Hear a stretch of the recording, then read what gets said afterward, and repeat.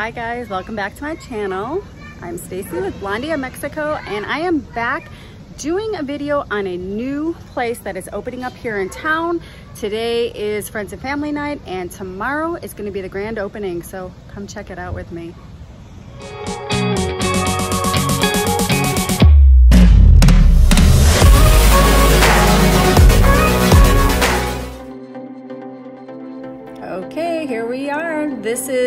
The beer company in Roosevelt Plaza, or I should say a co-op, that has multiple different places like a cafe, a vegan restaurant, and now the beer company is here.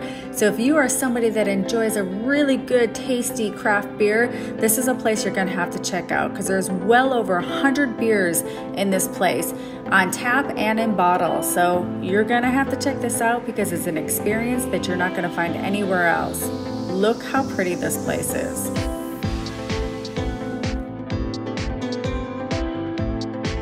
Guys, check out all these different bottles of beers that we have by the bottle.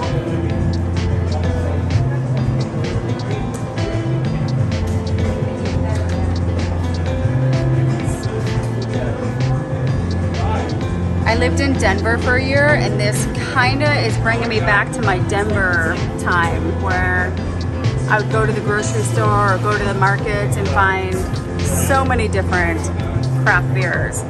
Let's go see what we have on tap inside.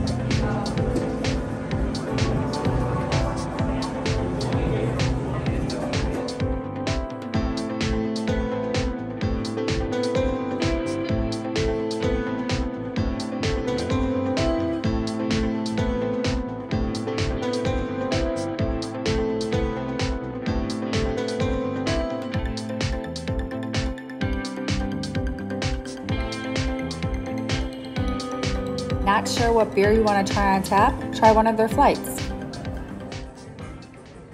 All right, guys, we are here with the owners of the beer company. We got Almendra and Tyler. So tell us a little about Hi. yourself. Hi. Hi, people. why why did we uh, start this company? What was our inspiration?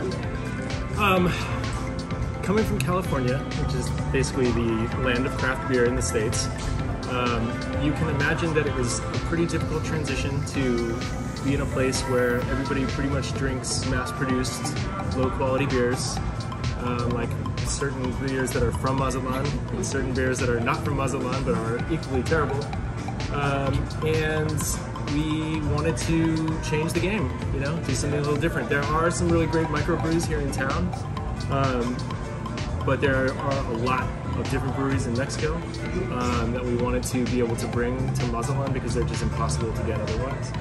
Um, so that's pretty much what we've done. Um, right now we have about 150 different beers, um, bottled beers, and then rotating cast of taps. Um, we have eight taps right now with four different breweries, um, three of which are from Sinaloa and one of which is from Sonora. Does that, that pretty much cover it? Uh, we're thinking about bringing some other breweries that are from Tijuana and Baja California. Uh, these breweries are like really, really talented microbreweries that we found, um, like Wendland and Border Psycho, and they are like providing for taps that we are, are thinking about bringing to Mazatlan too. Nice. So tell me more about the beer company. So you're not the first one. Correct. It's a chain. Um, there are, I think, 39 other locations throughout Mexico, um, but we are the first in Sinaloa. Um, and I think that we are the only one on the west coast, right? Um, I don't think that there's one in Sonora. Yeah, we're the only one in Sinaloa for sure.